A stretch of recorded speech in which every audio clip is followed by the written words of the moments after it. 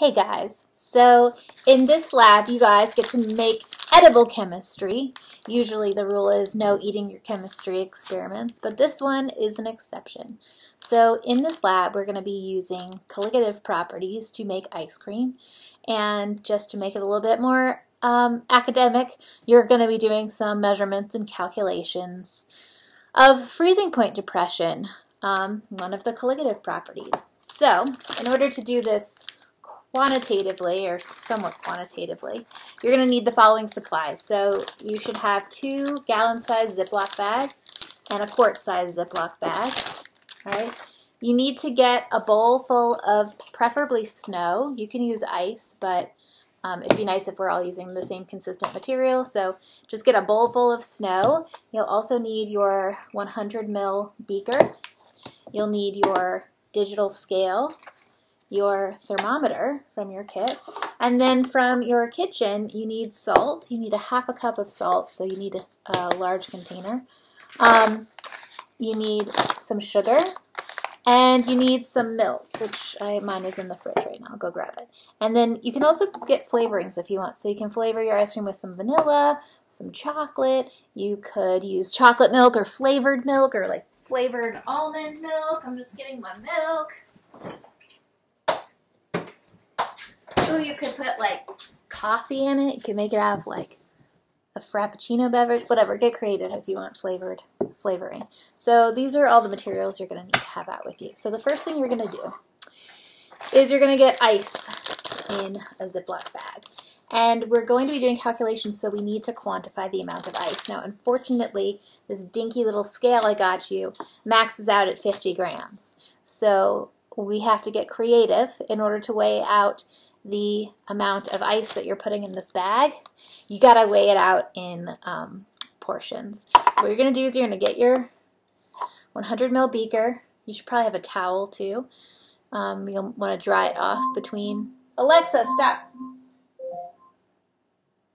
Um, okay, so you're going to start by putting your beaker here, and you're going to hit the tare button so that it zeroes out and cancels out the weight of the beaker. The weight of the beaker is going to be already included. And then you'll scoop up some snow. All right, fill up the beaker. I didn't really fill it up. And you'll write down the mass that you see here once it steadies out. And then you will dump it in the bag. And you're going to have to do this like about 10 times, possibly more. You're aiming for about 400 grams of, of ice, somewhere in there. I think I did 340-ish, and it worked just fine. Um, and then you can turn this off. So that'll take a few minutes, just scooping, measuring. You'll write down all the weights, and then you'll add them all together to get the total mass of ice in here. So try your best to make sure that when you dump the beaker into the bag, that you're really getting all of the ice out. Um, that you're not like dripping it on the table and stuff. Try not to lose any of that mass. Uh, and we will try to account for it in the sig figs I tell you to use our, to account for our error in our measurements there. Um, so then you're going to, uh, well, I guess the next thing you can do, no, let's do this first. First you'll, so then after that, after you fill the bag with ice, you will get um, a measuring cup, you need half a cup of salt. And this is an excessive amount. So um, you'll fill this with half a cup of salt and you will dump the salt into this bag with the ice. And you're going to set it aside for a minute. Um, and now you're going to take some temperatures. So you'll take, use your thermometer. It's pretty simple. You just turn it on with the on button. I think the default is Celsius, but if it's not, then just hit Celsius.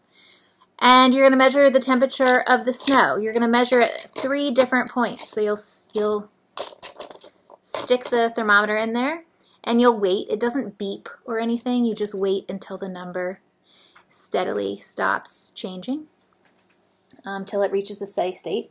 And so you'll measure, measure it at one spot and then move it to another spot and get another measurement and then do it a third time. This is just to make sure we're getting accurate readings. We're going to get a number of readings and average them.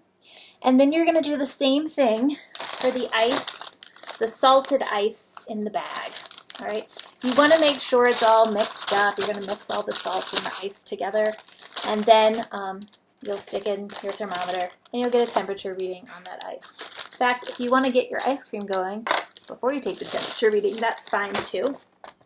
The ice cream is going to be made in this little bag here, in the quart size bag. You're going to make this by adding um, one cup of milk and a quarter cup of sugar adjust that if you want to adjust the sweetness of your ice cream. Maybe a little tad of vanilla, maybe some other flavorings if you choose. And don't add alcohol if you're 21, that's legal, but it, alcohol has already has a reduced freezing point, so I'm not sure you'll be able to actually get it to freeze. Just throwing that in there, okay? And then you're gonna, I gave you two Ziploc bags because sometimes this bag leaks, so it's good to double bag this first bag. It also insulates a little bit better, keeps the cold in. And then your bag full of milk and sugar and stuff, you'll zip that up and you'll put it inside the inner bag. You'll zip these two bags up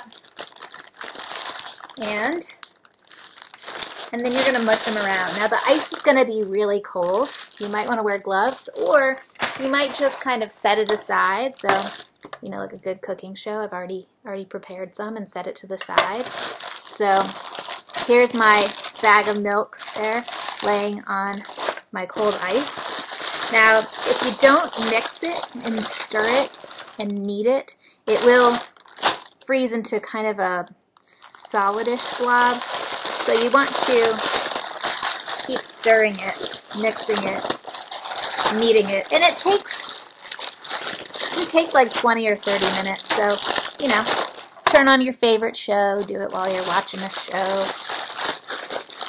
Um, and you'll start feeling it thicken. And mine's not quite at ice cream consistency yet.